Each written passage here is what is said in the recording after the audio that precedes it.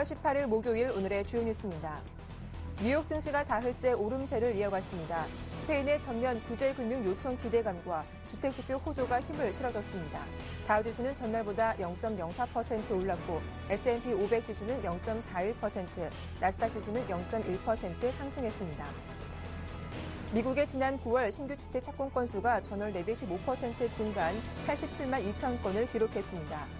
시장 전망치를 상회는 물론 4년 2개월 만에 최대치를 기록했습니다. 이로 인해 미국의 부동산 경기 회복세가 더욱 가팔라질 전망입니다. 유럽연합과 유럽중앙은행, 국제통화기금 등 이른바 트로이카 실사팀은 그리스 재정 사태를 지원하기 위한 긴축 및 구조개혁 협상이 상당한 진전을 이뤄 며칠 안에 결론을 낼 것으로 보입니다. 서울 외환시장에서 달러당 원화 환율은 전날보다 3원 20전 내린 1,104원으로 거래된 이후 1,103원 30전까지 낙폭을 키우며 전날 기록했던 연중 최저치를 갈아치웠습니다. 수출업체는 비상이 걸렸습니다.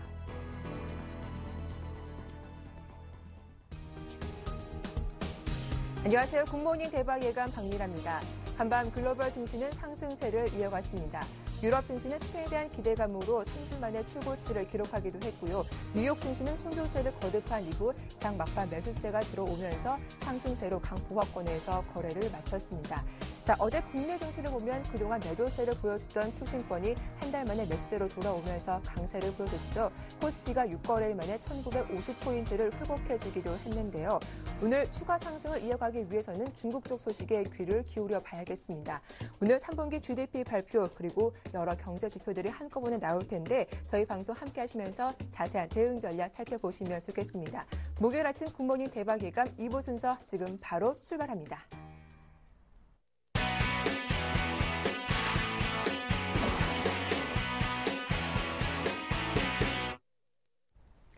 네, 2부 첫 순서는 청송촌놈 신창환 대표와 함께하겠습니다. 대표님 안녕하세요. 예, 멋진 여자 박미라 앵커님 안녕하십니까. 전국 시청자 여러분 안녕하십니까. 기염동이 청송촌놈 신창환입니다. 네, 반갑습니다.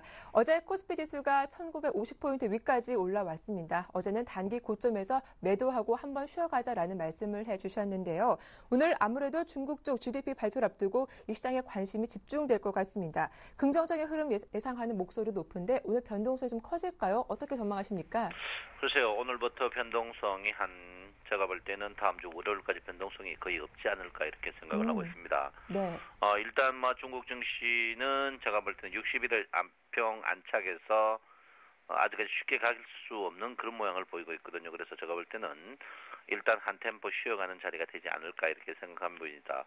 어제 제가 이제 미국 증시들이 어, 지금 시세에 비해서 어, 분위기에 비해서 너무 정고점이다. 아, 그래서 제가 볼 때는 미국 증시가 사실 충분히 조정을 받아야 되는데 받지 않고 있는 이 상태가 제가 볼 때는 어, 글로벌 증시에 이제 덕이 되는 게 아니고 독이 되는 과정이 아닌가 이렇게 저는 생각을 하고 있습니다.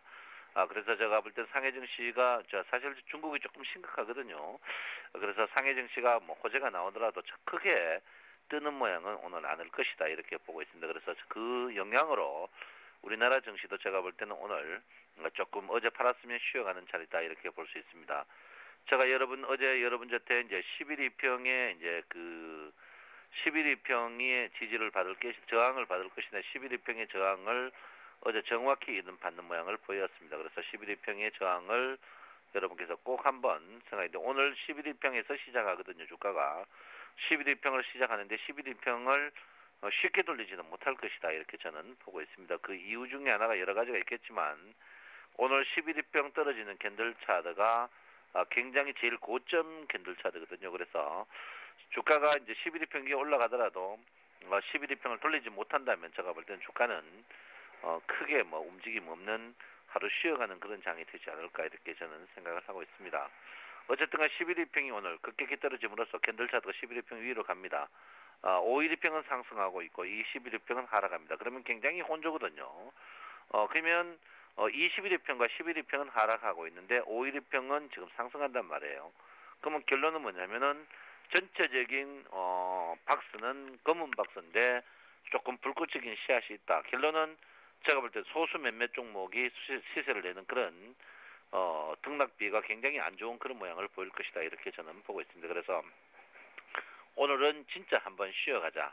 어제 어, 성송촌는 말을 안 듣고 고점에 매도하지 못하신 분들 제가 이제 여러분 저때 1960포인트 어, 이상에는 적극적인 매도에 동참하라고 했는데 매도에 동참하지 못한 분들은 오늘 현금화에 주력하는 그런 모양을 보이는 게 좋지 않을까 이렇게 저는 어, 생각을 하고 있습니다.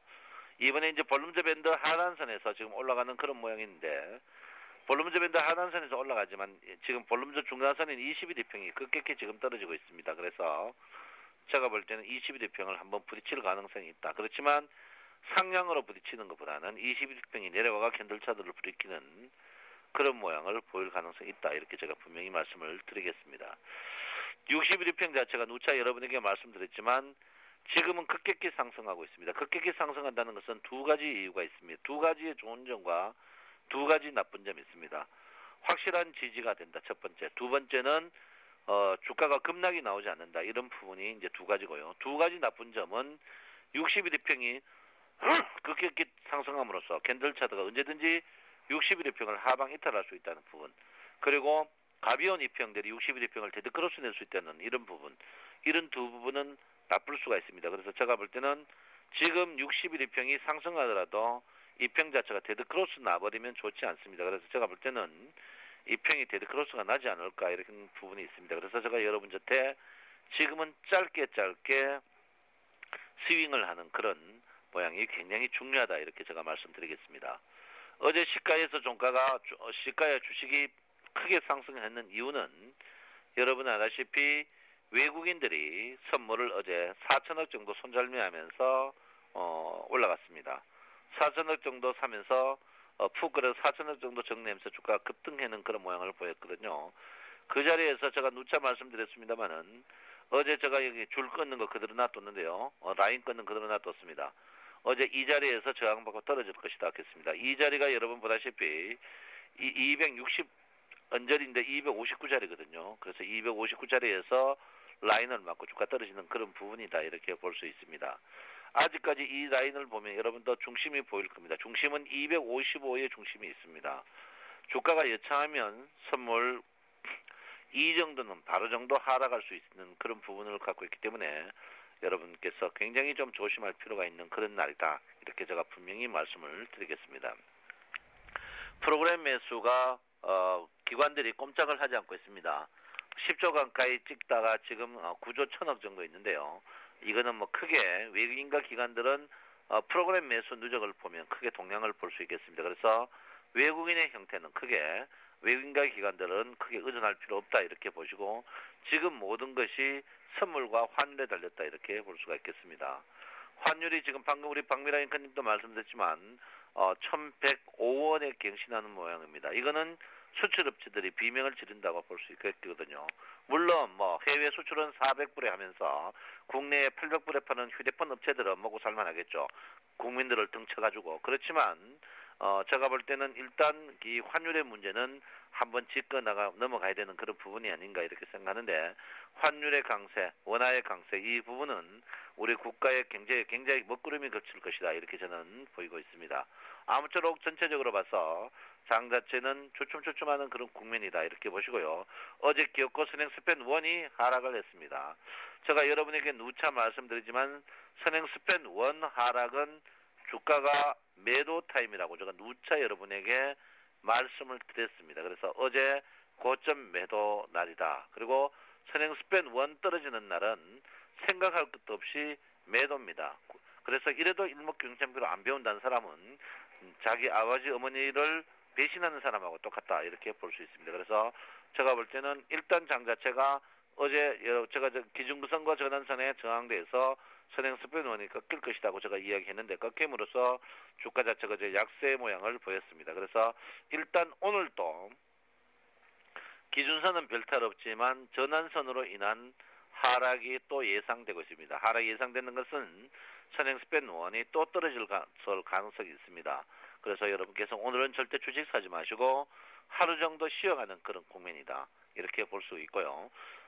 선행 스펜 원이 하락할 때, 선행 스펜 원이 하락할 때는 주가가 절대 상승할 수 없는 그런 경향을 보이고 있습니다. 그래서 여러분께서 선행 스펜 원이 자 여기 보시면 바로 나오죠. 전환선이 상승하지 않고는 절대 주가가 상승할 수 없는 그런 동향을 보이고 있습니다.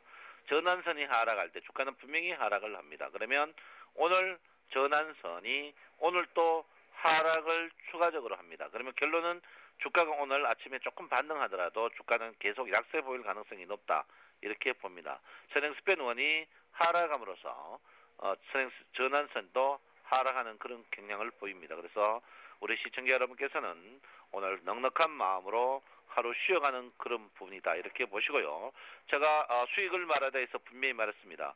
전환선이 선행 스팬 원을 하방 이탈하면 본격적인 조정 포인트다 이렇게 이야기를 했습니다. 수익률을 말하다 오늘 저녁 10시에 있습니다. 여러분 보시면 상세한 시황을 분명히 말씀해 드렸고요. 지금 주식은 여러분 보다시피 상승폭에 38% 조정받는 그런 자리에 있는 그런 부분입니다. 그런 부분이니까 이렇게 되면 하락폭에 62%나 6, 많이 떠봐야 62%. 그 62%가 1980포인트가 되겠습니다. 그래서 지금 자리에서 여러분 보시면 한 15포인트, 뜨면 15포인트, 그 대신 빠지면은 굉장히 많이 빠질 수 있는 그런 모양을 보이고 있습니다. 그래서 우리 센 시청자 여러분께서는 주식은 돈 버는 것보다 돈 잃는 걸 굉장히 조심하는 것이 현명하다고 보고 있는 사람 중에 한 명입니다. 그래서 아무쪼록 지금 장세는 짧게 짧게 방망이 쥐고 치더라도 지금은 쉬어가는 자리다 이렇게 볼 수 있겠습니다.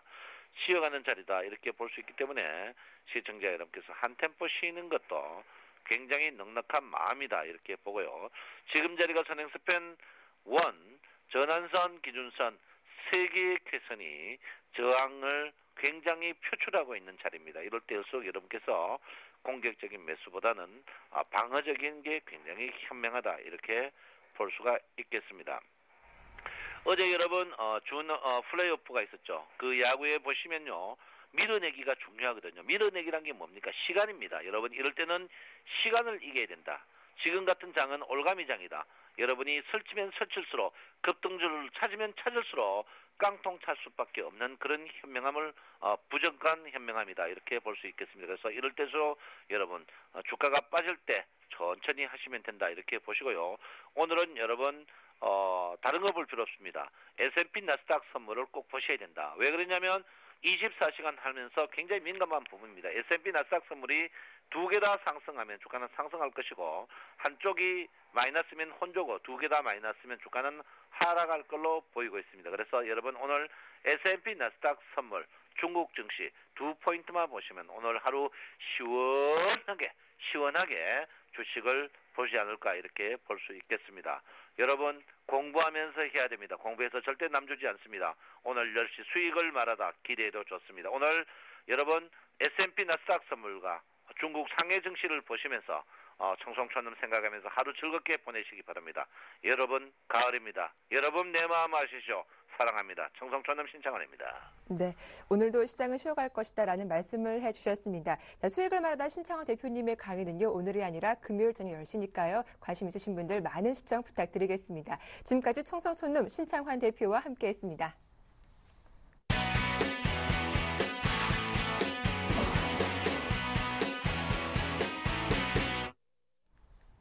네, 오늘장 유망 업종과 종목도 확인해 보겠습니다. 샘플러스 최병권 전문위원님 나오셨네요. 안녕하세요. 네, 안녕하세요.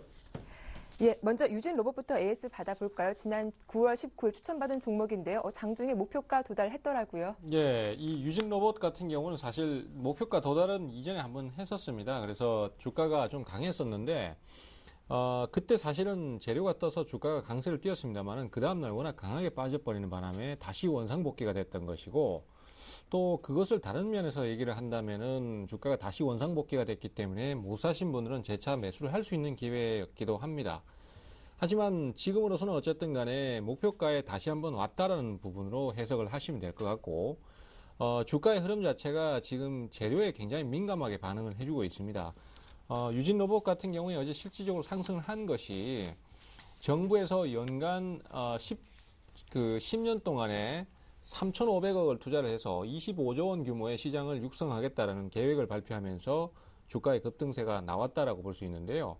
어, 어쨌든 간에 그런 내용에 있어서 굉장히 민감하게 반응을 해주고 주가가 상승이 나왔다라는 것 자체가 그리고 또 어제 장 후반에 어, 지수 자체가 밀리는 상황에서도 매수가 들어왔다는 것은 상당히 좀 재료에 민감하게 반응을 해준다라는 얘기가 될 것이고 그렇게 된다면은 결국 또 다시 조정을 줄 때 재공약을 한다든지 이러한 대응을 해볼 수 있다라고 생각이 됩니다. 현재로서는 일단 단기 수익 정도는 충분히 발생을 했고 목표까지 달성을 했기 때문에 다시 눌림목을 준다라면 재공약을 해볼 수 있는데요. 다만 지금 현재 그 상승의 속도를 보면은 동부 로봇이 좀 더 빠른 모습을 보여주고 있습니다. 근데 지금 현재 테마성 종목군들의 진행을 보면은 덩치가 크고 작고에 따라서 속도가 차이가 많이 나고 그만큼 강한 매수세가 유입이 안 되고 있다라는 의미로 해석을 할 수도 있는 것이기 때문에 네. 어, 동부 로봇으로 가야 되지 않느냐 이런 시각도 있습니다만은 기본적으로 우리가 테마 종목군을 할 때도 그 기업의 어떤 기본적인 가치라든지 아니면 실적적인 부분이라든지 이런 것들이 어느 정도 기본적인 부분 정도는 뒷받침이 돼주는 종목을 하시는 게 낫다라는 입장이에요. 그래서 뭐 이전에 앞서 소개드렸던 아이리버라든지 아니면은 유진 로봇 같은 종목군을 저가에서 매수를 한다든지 이런 식으로 대응을 가시는 게 좋고요. 특히 시장이 이제 조정의 조짐을 좀 많이 보여주고 있습니다. 그렇기 때문에 어, 고점에 고점에 추격 매수를 했을 경우에는 어, 상당히 좀 어려운 상황이 될 수밖에 없고 주가가 저점에서 최대한 기다렸다가 매수를 해야지만이 어, 이전보다도 좀 훨씬 더 작은 수익률을 주는 이런 장세가 펼쳐질 것으로 예상되기 때문에 어, 유진 로봇 같은 경우에도 최대한 저가를 노리셔서 공략을 하시거나 이렇게 가시는 게 좋겠고 또 동부 로봇이 빠르다고는 하지만은 현재로서는 안정성 부분도 같이 고민을 하면서 접근을 해야 되기 때문에 어, 좀 기본적으로 실적이 되는 종목군들을 가시는 게 낫겠다. 이렇게 좀 정리를 해드리고 싶습니다. 네, 이렇게 유진 로봇 AS를 받아봤습니다. 저희가 매 시간 관심 업종을 들어보고 있는데요. 오늘은 리스크 관리를 해야 한다라고 하셨어요. 어떤 의미입니까? 예, 오늘은 뭐 사실 네. 업종 자체보다는 리스크 관리라는 차원에서 종목을 그 말씀을 드리는데요. 네. 지금 사실 시장이 이제 그동안 상승세를 계속 타왔습니다. 특히 코스닥 시장 쪽이 거래소보다 훨씬 더 강한 모습을 보이면서 8월, 9월 달에 상승세를 이어나왔고요. 그러다 보니까 시장의 조정에 대한 우려감도 조금씩 커지고 있는 것이 사실입니다. 특히 거래소 시장 같은 경우에는 이미 조정을 좀 받은 상태고 이미 21선 이평을 이탈한 상태입니다.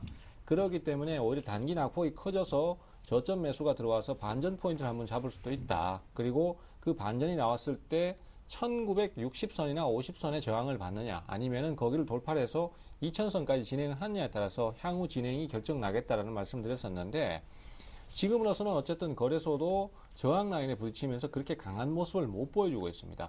뭐 그런 상황이다 보니까 이 코스닥 시장 쪽의 우려감도 커지고 있는데요. 최근 들어서 코스닥 쪽의 진행을 보면은 어, 그 장중에 진행을 보시면은 분봉상의 변동성이 굉장히 커진 것을 알 수 있습니다. 차트를 잠깐 한번 보면서 말씀을 좀 드려야 될 것 같습니다. 자, 지금 화면에서 보시는 것처럼 어, 화면 보시는 것이 30분봉 차트인데요. 30분봉을 보시면은 그동안 주가는 상당히 견조하게 진행을 해왔고 특별하게 어떤 큰 변화를 준다든지 이러한 모습들이 없었습니다. 그리고 실제적으로도 잠깐 잠깐의 하락은 있었습니다만은 빠른 회복을 보여준다든가 아니면 변동성이 적게 가는 모습들을 보여줬었는데 최근 들어서 갑자기 그 변동성이 커지는 모습을 보여주면서 일봉상의 진행에서도 장대 음봉이라든지 이런 긴 음봉이 발생하는 것을 알 수 있습니다. 그리고 이미 주가는 8월 달부터 지금까지 꾸준히 상승세를 타왔고요. 그러면서 변동성이 커지는 상황이기 때문에 앞으로 시장이 뭐 하락 리스크라든지 이런 거에 많이 노출되어 있다라고 볼 수 있겠는데요. 이러한 시점에서는 아무래도 종목을 어떤 걸 거래하시든 간에 아무래도 수익 목표치를 좀 짧게 가셔야 되고 그다음에 최대한 저가를 노리셔서 공략을 하는 수밖에 없다라고 볼 수 있겠습니다. 그래서 그런 부분에서 리스크 관리가 대단히 중요하다라고 할 수 있겠고요. 어, 지금은 기존의 흐름이 좀 약한 종목이라든지 아직까지는 살짝 깨고 내려가는 종목들이 있다면은 과감하게 끊어버리시는 게 낫습니다. 그리고 차라리 더 낮은 지점을 노리시는 게 낫겠고요. 그 다음에 주가가 이미 많이 빠져가지고 손실을 많이 본 상태에서 뭔가 대응을 바로 자르기는 좀 힘든 종목들이라면은 어, 성급하게 저점 매수를 추가로 하지 마시고 좀 더 바닥이 잡힐 때까지 기다렸다가 공략을 하시는 게 좋겠습니다. 특히 코스닥 시장 같은 경우는 거래소하고 달리 프로그램 매수나 그 다음에 기관이나 외국인들의 대응이라든지 이런 어, 기계적인 대응이 없고 심리적인 요소가 굉장히 강하기 때문에 한 번 매수가 들어올 때는 꾸준히 계속해서 뭐 한 달이고 두 달이고 매수가 들어오다가도 또 조정을 받을 때는 또 쉬지 않고 계속 좀 내려가는 그런 경향이 있는 관계로 어, 조정을 받을 때 수익을 지켜내질 못하면은 결국은 또 다음 수익이 나오기가 힘든 구조로 가기 때문에 개인 투자자들이 대부분 보면은 수익을 못 지켜서 손실을 보는 경우가 많거든요. 그래서 그런 부분들을 좀 더 강조를 드린다면은 이 리스크 관리에 좀 더 신경을 좀 써주자라는 말씀에서 예, 지금 오늘 그런 얘기를 드렸습니다. 네, 오늘은 좀 리스크 관리에 집중을 해봐야 한다라는 말씀을 강조해 주셨는데요. 오늘 관심 종목도 들어보겠습니다. 어떤 종목인가요? 예, 관심 종목은 역시 지금 시장에서 계속 매수가 좀 들어오고 있는 게임 관련주를 또 다시 한번 얘기를 드리려고 합니다. 네. 이 게임 관련주는 사실 모바일 게임 관련해서 지금 그 아주 강력하지는 않지만은 계속 꾸준히 매수가 들어와주고 있는 상태고요. 고가권에 있는 종목 말고 바닥권에 있는 종목을 공략한다면 아직까지는 승산이 있다라고 판단이 됩니다. 하지만 앞서 말씀드렸던 것처럼 리스크 관리를 우선한 형태에서 대응을 하셔야 되겠죠. 말씀드릴 종목은 네오이즈인데요. 요번에 추천을 한번 드렸다가 목표가 달성을 한번 했습니다. 그리고 다시 또 급락세를 타서 원래 매수가를 소개드렸던 가격대까지 다시 내려온 상태입니다. 그렇기 때문에 또 다시 재공략을 할 수, 하실 수 있고요. 매수가는 17,500원 보실 수 있고 목표가는 19,200원으로 이번에는 목표치를 조금 낮게 잡겠습니다. 그리고 손절 기준가도 16,000원 정도로 조금 타이트하게 그렇게 잡아서 어, 시장의 리스크에도 대비하고 또 수익을 얻는 어, 이런 식의 대응을 하도록 하겠습니다. 네, 한번 수익을 봤던 종목인데요. 네오이즈 관심 있으신 분들 대응 전략 잘 참고하시면 좋겠습니다. 지금까지 샘플러스 최병권 전문위원과 함께했습니다. 도움 말씀 고맙습니다. 네, 감사합니다.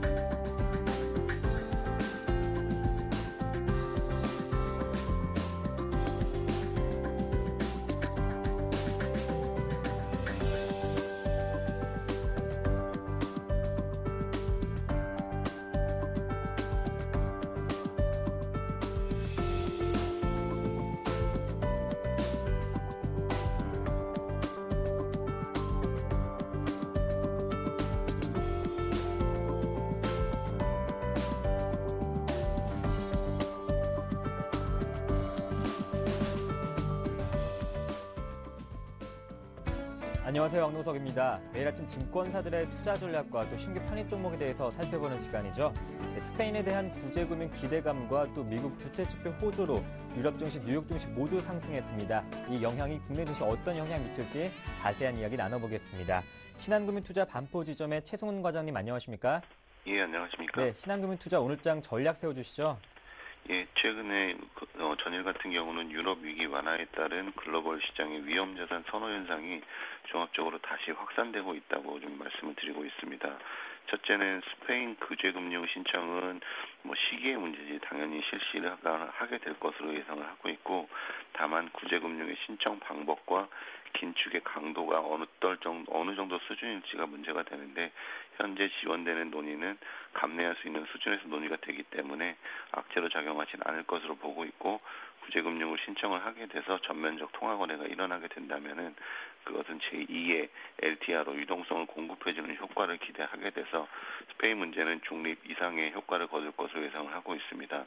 또 뿐만 아니라 그 중국의 18대 당대회가 11월 8일날 개회가 됐는데 그 일정이 점점 가까워지면서 중국 새로운 정권에 대한 부양책 기대도 지수의 플러스 요인이 될 수도 있을 것으로 보고 중국 부양책에 대한 기대는 시간이 흐를수록 월말에서 다음 달로 넘어갈수록 증가할 것으로 예상을 하고 있습니다. 또 외국인 매수세 같은 경우는 어, 국채 수익률 하락과 함께 증가를 했는데 최근에 스페인 국채나 미국 국채가 상당 부분 크게 하락을 하고 있기 때문에 외국인도 우호적으로 판단을 하고 있습니다. 문제가 되는 것은 그동안 시장을 주도했던 코스닥 시장과 중소형 종목이 향후에 시장을 이끌 것이냐, 대형주가 이끌 것이냐 이러한 문제인데 어, 최근에 코스닥 시장과 중소형 시장에 대해서 차익 실현 욕구로, 욕구로 인해서 이틀간 큰 폭, 다소 큰 이격 조정을 받았습니다. 하지만은 향후에도 어, 코스닥과 중소형 종목의 시세가 정점을 찍기보다는 오히려 2차 2차 상승을 위한 어, 당, 당연스러운 조정으로 판단을 하고 있고 다만 정치성 테마 종목이나 실적이 없는 아래 종목들은 시세의 정점을 찍었을 가능성이 크기 때문에 실적이 뒷받침되는 코스닥과 중소형 종목의 조정 시 매수 전략이 유효하다고 생각이 됩니다. 네, 신한금융투자 오늘장 신규 편입 종목도 함께 소개해 주시죠. 예, 금일 편입 종목은 일단 첫째는 일진 디스플레이라는 종목입니다. 네. 일진 디스플레이는 터치 패널을 만드는 업체인데 하반기 어, 다음 주 정도에는 윈도우 8이 출시될 것으로 예상을 하고 있고 윈도우 8이 출시가 된다면 중대형 7인치 이상으로 터치 패널 수요가 증가를 할 것으로 예상을 하고 있습니다. 따라서 일진 디스플레이가 삼성전자 1차, 1차 vendor인 동시에 중대형 터치 패널의 강점을 가지고 있기 때문에 어, 현재 시점에서는 조정 시 어, 매수하는 전략이 유효해 보이고 두 번째 종목은 인터파크라는 종목인데요. 인터파크 역시 공연과 뮤지컬 티켓 부문의 판매 호조에 따라 판매가 호조가 되고 있고 또 투어 부문의 취급고가 증가를 하면서 하반기에는 본격적으로 이 turnaround 할 것으로 전망을 하고 있습니다. 또 이런 실적 모멘텀과 더불어서 아이마켓 코리아를 인수를 했는데 그 부분에 지분 가치가 부각이 되고 어, 자회사의 비용 통제가 강화되는 점도 긍정적으로 판단이 돼서 일진 디스플레이와 인터파크 두 종목을 추천을 드리고 있습니다. 네, 일진 디스플레이와 또 인터파크 두 종목 다 하반기가 기대되는 종목입니다. 말씀 잘 들었습니다. 고맙습니다. 예, 감사합니다. 네, 지금까지 최순 과장과 함께 신한금융투자 오늘장 전략과 또 신규 편입 종목 함께 살펴봤습니다. 저는 내일 아침에 뵙겠습니다.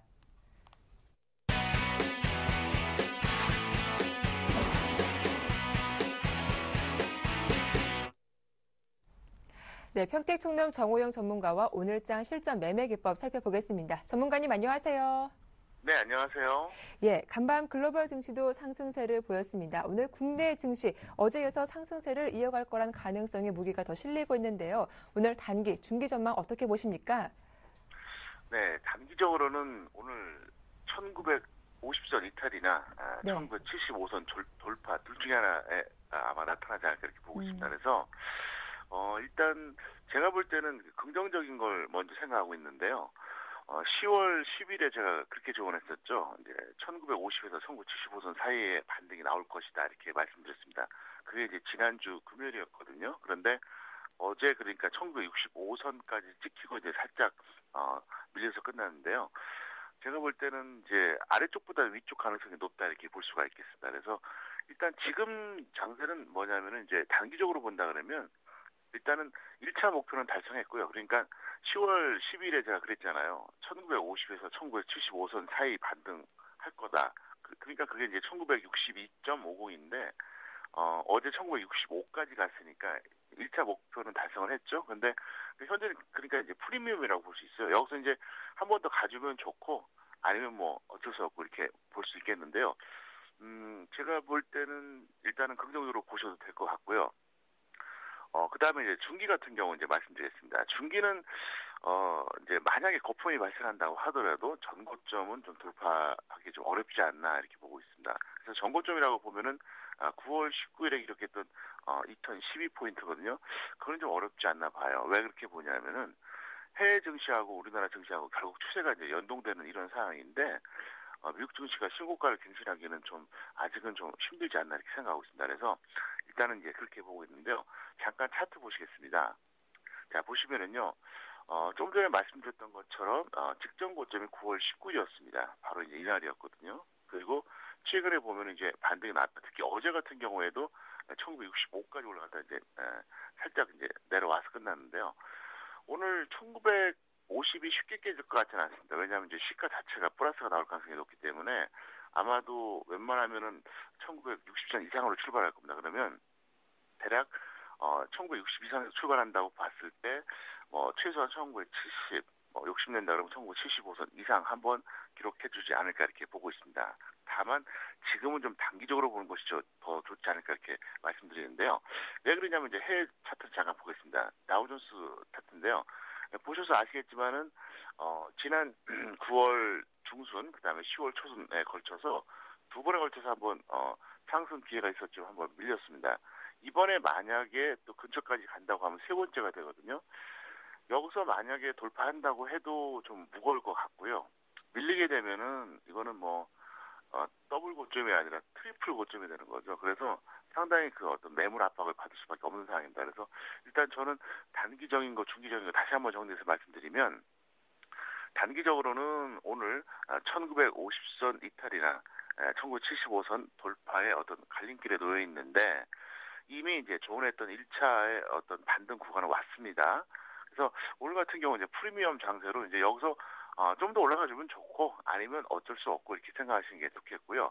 중기적으로는 여전히 아직은 좀 불안하게 좀 보고 있다 이렇게 설명드릴 수가 있겠습니다. 자 이번에 이제 자막을 보시면은요 음, 재밌는 걸 하나 말씀드릴게요. 뭐냐면요.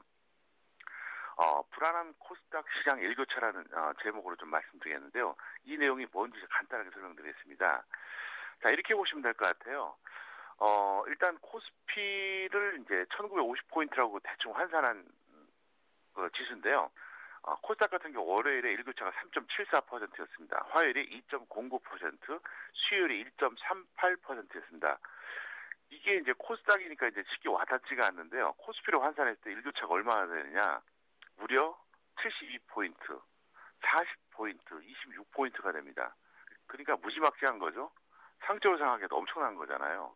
그래서 이게 왜 이렇게 되냐면은 어 이유가 있어요. 최근에 그 코스닥 급등락 반복의 이유가 있는데요. 첫 번째가 뭐냐? 어, 미국 다우 어, 미국 그러니까 이제 다우존스가 나스닥보다 훨씬 강세거든요. 그러니까 어, 나스닥이 상대적으로 굉장히 약하다는 거잖아요. 그래서 어, 다우존스 같은 경우는 60일선 이동평균선을 그 이탈하지 않았어요. 그런데 어, 나스닥을 이탈한 상태에서 다시 반등 나오는 이런 추세고요. 두 번째가 뭐냐면은 최근에 코스피보다 훨씬 더 과도한 거품이 발생했습니다. 너무나도 셉니다. 어떻게 보면은 코스피가 올라갈 때 겨우 따라가는 게 코스닥 시장인데 정반대가 되고 그랬다는 거죠. 그래서 어, 코스피 고점 일자하고 코스닥 고점 일자하고 차이가 많이 발생합니다. 세 번째가 뭐냐? 올라갈 때는 그럴듯하게 좋은데요. 하락할 때는 어, 지수를 방어할 만한 버티목이 없어요. 코스닥이 그렇다는 거죠. 예를 들면 코스닥은 외국인이나 기관이 주도하는 코스피하고는 다르게 아무래도 어떻습니까? 네. 개인들이 주도하는 시장이거든요. 또 하나가 뭐냐면 프로그램 매매가 있긴 합니다. 코스닥도 하지만 사실 유명무실합니다. 차익은 없고요. 비차익밖에 없는데 어, 코스피의 프로그램 매매하고 비교하면 이건 뭐 참 의미가 없을 정도예요. 그래서 이제 그런 차이인데 자막을 다시 한번 보시면은요. 어쨌든 어 월요일, 화요일, 수요일 어, 코스피 일교차하고 비교해봐도 엄청나게 크지 않습니까?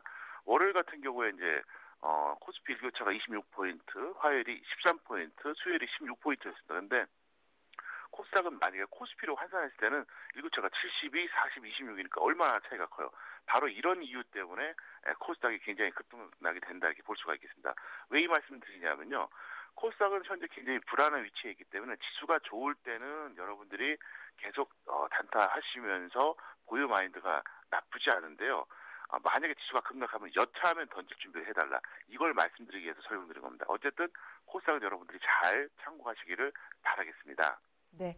오늘 단기, 중기 전망과 함께 코스닥 지수의 급등락이 반복되고 있는 이유까지 자세한 내용 들어봤습니다. 오늘 전략 세워볼 텐데요. 주식 비중, 전업 투자자는 50% 보유하는 거 맞죠? 네. 어, 전업 투자자들 같은 경우 50, 어, 직장인 25 정도가 많은데요. 어쨌든 1950선 이상에서는 25에서 50 정도 보시고요. 1950선 미만에서 0에서 25. 큰 기준으로 이것만 잘 보시면 될 것 같고요. 1975선 전후가 되면은 웬만하면 그 매도하고 관망하시는 게 좋습니다. 그리고 어, 우량주와 개별주 단기 공략도 좀 말씀드리겠는데요. 일단 이렇게 해주세요. 우량주 같은 경우 는 이제 코스닥 인터넷이나 디지털 컨텐츠가 좋겠고요. 개별주는 정치인 관련주가 저는 어차피 다시 갈 거라고 봅니다. 왜 그러냐면은 뭐 지금 어, 어차피 두 달밖에 안 남은 상태고, 어, 뭐가 가도 가기 때문에, 그리고 이거보다 훨씬 더 더한 테마주도 갔기 때문에, 솔직히 이제 갈 때가 됐다고 보고 있습니다. 그래서, 일단 여러분들이 공략하신다면, 어, 뜻밖에도 이제, 우량주는, 음, 어, 코스피에서는 제가 이미 증권하고 정기준을 말씀드렸잖아요. 연, 아, 저, 그, 그러니까 주초에. 그러니까 지금 뭐 잡긴 살짝 좀 늦었고요. 어, 새롭게 잡는다 그러면 이제 최근에 조정받았던 코스닥 인터넷이나 디지털 콘텐츠가 무난할 것 같고요. 일단은 개별주 같은 경우에는 정신 관련주 뭐 딱 찍어서 말씀드리기 좀 그렇고요. 어쨌든 거기에 맞춰서 하시면은 예, 문제가 없을 것 같습니다. 네, 알겠습니다. 자, 오늘 강연에 있으시죠? 다시 한번 안내 말씀 부탁드릴까요? 네. 네. 어, 10월 20일 토요일 날 어, 오후 2시부터 4시까지 있습니다. 선릉역에 있는 동부금융센터에서 하는데요. 어, 다른 거보다도 이제 그 말씀만 드릴게요. 이제 네. 오시면 후회 안 하실 겁니다. 보통 이제 토요일 날 강연에 이제 시간 내서 오셨는데 어, 좀 실망하시는 경우가 많다고 이제 들었어요. 이제 시청자분들이 그런 말씀 많이 하시더라고요. 갔더니 뭐 광고나 하고, 네. 뭐 이상한 쓸데없는 소리를 하고, 뭐 그냥 너무 시간이 아깝다 이렇게 말씀하신 분들인데 아마도 이미 오셨던 분들은 제 강연에는 그런 생각을 안 하셨을 겁니다. 왜냐하면 정말 제가 아, 진심으로 정말 좋은 내용을 정성스럽게 전달해 드리니까요. 네. 이번에도 그냥 아, 편안하게 오시고요. 아, 진짜로 어, 어, 다녀가시면 아, 정말 잘 왔다 이런 생각이 들 정도로 제가 좋은 내용을 준비했으니까 아, 여러분들이 꼭 아, 많은 참여를 부탁드리겠습니다. 예, 말씀 잘 들었습니다. 고맙습니다. 네, 감사합니다. 지금까지 평택총련 정호영 전문가와 함께했습니다.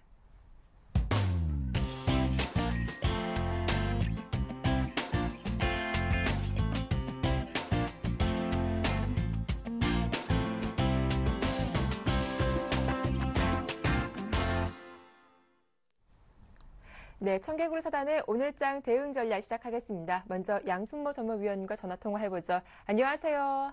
네, 안녕하십니까. 양승호입니다. 예, 간밤 글로벌 증시 분위기도 좋았는데요. 예상 체결가를 보니까 좀 파란불이 들어오고 있네요. 오늘 시황 어떻게 전망하십니까? 네, 오늘은 일단 뉴욕 증시가 뭐 스페인이 전면 구제 금융을 요청을 할 것이다에 대한 기대감, 또 주택 지표가 호조 호조세로 인해서 힘을 실어주었기 때문에 어, 소폭 상승하는 흐름을 좀 예상을 했었습니다. 어쨌든 지금 사흘 연속 오름세를 좀 이어갔던 그 뭐 증시가 있는데 지금 이 불안 속에서도 기업들에 대한 실적들이 선방을 하면서 또 여기에 경제 지표들이 꾸준히 개선되고 있다는 점은 지금 투자자들의 입장에서 심리적 안정을 주고 있다라고 좀 보여지고 있습니다. 어, 우리가 이제 그 어제 흐름을 봤을 때 지수의 고점 고점 자리가 1965포인트까지 상승을 했는데요. 이 부분은 지금 시장에서 고점 자리에서 보여주었던 자리에서 한 2분의 1 정도 회복한 자리라고 볼 수가 있을 것 같습니다. 근데 지금 6, 어, 지금 현재 자리에서는 상승 모멘텀에 대한 좀 부재성을 좀 어, 두고 좀 시장을 좀 지켜봐야겠는데 어, 지금 국내 상승 증시 모멘텀으로는 올라갈 수 있는 부분들은 지금 현재 구간에서는 좀 제한적인 모습을 좀 보여줄 것으로 보여지고요. 다만 여기서 뉴욕 증시가 추가로 반등했을 경우에 단기적으로는 일단 1980포인트까지 우리가 목표가를 좀 잡아두고 어, 좀 접근을 하시면 될 것 같습니다. 그래서 지금 1930포인트에 대한 만약에 주가가 어, 다시 대밀리는 흐름이 나타났을 경우에는 단기적으로는 이번에는 1930포인트를 깰 수는 있지만 1920포인트 그리고 1930포인트 내에서 다시 한번 이렇게 반등이 나올 수 있다는 점을 놓고 일단 여기서는 쌍바닥 패턴으로 다시 한번 주가가 어, 반등이 나올 것이냐 아니면 여기서 추가적인 조정과 어, 해외 시장에 대한 호재성 반발 매수로 인해서 주가를 추가적인 상승이 나올 것이냐. 그러니까 두 개의 패턴을 좀 예상을 해볼 수가 있겠습니다. 지금 우리 그 수급 동향을 좀 봤을 경우에는요.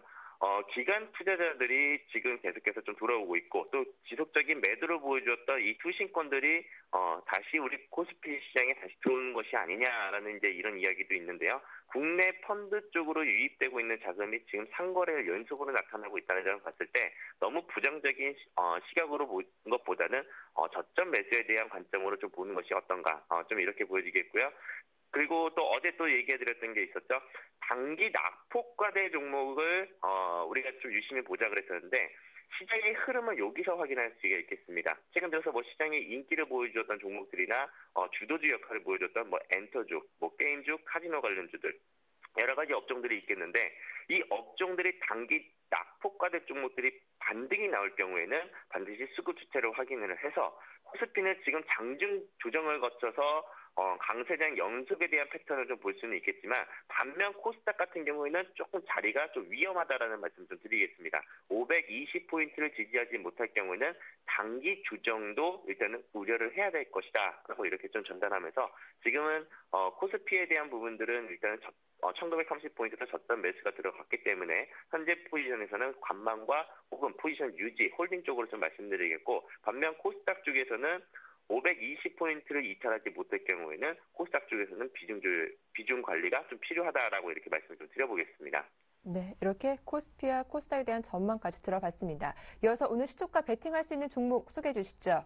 네, 오늘 시가 베팅 종목은 TK 케미칼이라는 종목이 나왔습니다. 이 네. 종목은 좀 당, 오늘 이제 바로 이제 접근하기보다는 전일 보여주었던 수급에 대한 변화가 나타나면서 단기 공략 종목으로 가지고 나왔는데요. 이 종목은 한 일주일에서 한 2주일 정도, 한 보름 정도를 좀 보고 있습니다. 어, 최근 들어서 지금 거래량들이 이제 발생되기 시작한 이후로부터 상한가가 만들어졌던 이 스타트 지점으로부터 이제 보시면 될 것 같은데요. 이 이후로부터 지금 박스권 상당 구간대, 저항이 되고 있던 이 자리 구간대에서 기간 투자자들이 꾸준한 순매수가 유입이 되고 있다는 점을 우리가 관심 있게 보셔야 될 것 같고요. 그리고 더불어서 지금 매물대에 대한 부담감 물론 적습니다. 이전에 보여주었던 이 구간 동안에 거래량들이 거의 미비한 수준의 또 상한가로 강한 매물들을 투하를 시켜줬던 모습이 있었기 때문에 지금들에서 우리가 접근을 한다면은 어, 수급 주체에 대한 새로운 등장으로 인해서 매물대 부담이 적다. 고점 추격 매수가 아니라면은 순탄한 흐름을 계속 이어나갈 가능성이 높다는 점을 보고 일단 시초가 배팅 가능 말씀을 드리면서 적정 매수 주가 2,230원, 목표가 2,500원, 그리고 손절가는 2,100원만 이탈하지 않는다라면은 원하는 대응 가능하다. 그래서 오늘의 시초가 백신 정보 TK 케미칼 말씀드리도록 하겠습니다. 네, TK 케미칼 살펴봤습니다. 도움 말씀 고맙습니다. 네, 감사합니다. 네, 이어서 이상헌 전문위원도 만나보죠. 안녕하세요. 네, 안녕하십니까. 예, 먼저 오늘장 수급 특징주는 어떤 종목입니까? 네, 금일 이제 가지고 나온 종목은 대아티아이라는 종목을 가지고 나와봤습니다. 네, 대아티아이는 그 철도 관련주로 해서 그 철도 신호 관련 시스템 전문 업체인데요. 어, 최근에 그 브라질과 그 500km 구간 정도 그 고속철도 건설과 그 운영에 대한 협력을 좀 강화한다는 이런 소식이 있었는데요. 어, 이런 소식과 더불어서 안철수 후보가 그 북한 경제와 그 대륙 철도에 관한 발언에 의해서 좀 강세를 보였습니다. 어, 최근에 그 이런 대선 관련 종목들의 움직임을 좀 살펴보면 단순 인맥주로 움직이는 종목들보다는 어, 후보들의 그 발언이나 그 움직임, 그 정책에 의해서 종목들이 움직이는 것을 볼 수 있습니다.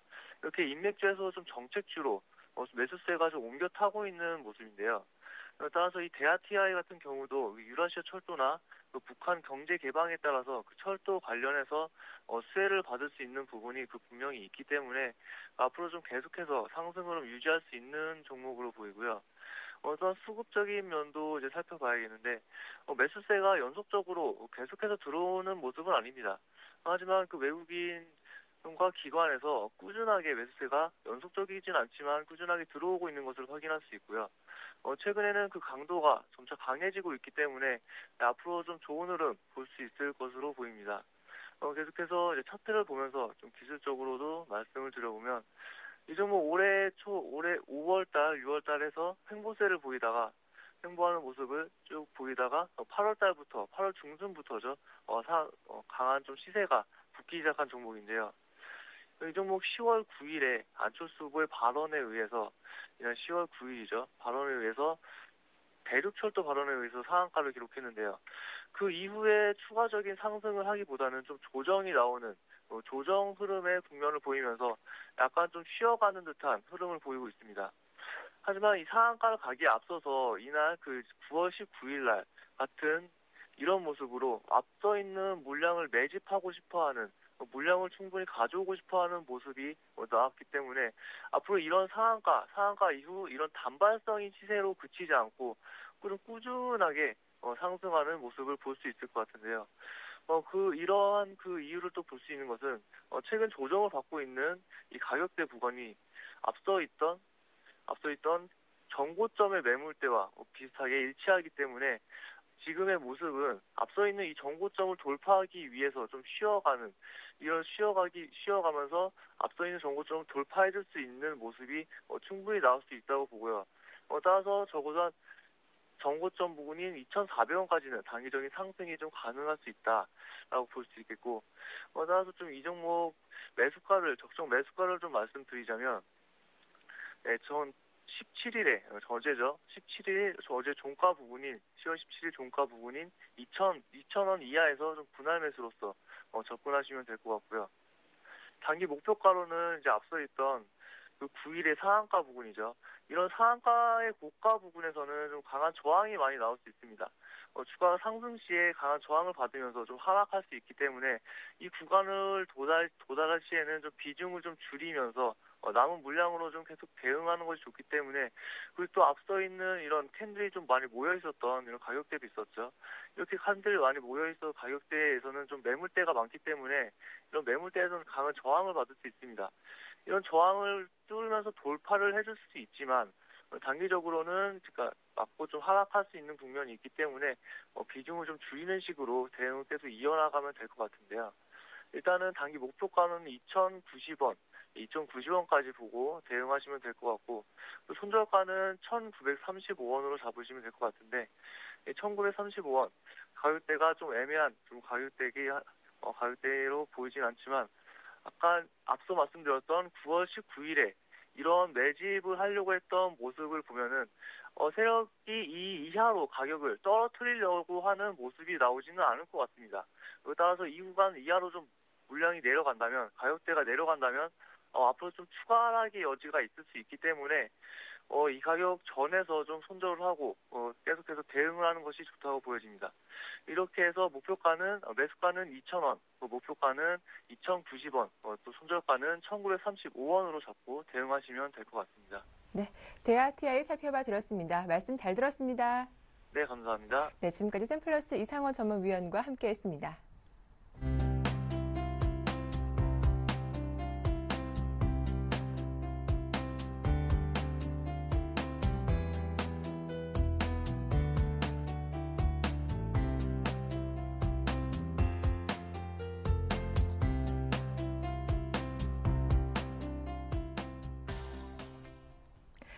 네, 요즘 선선한 가을 날씨가 이어지고 있죠. 이런 날씨에 잘 어울리는 강연회가 줄줄이 예정이 돼 있으니까요. 강연을 통해서 투자 정보도 얻어 가시면 좋겠습니다. 저희는 내일 아침 7시에 다시 인사드릴게요. 함께 해주셔서 고맙습니다.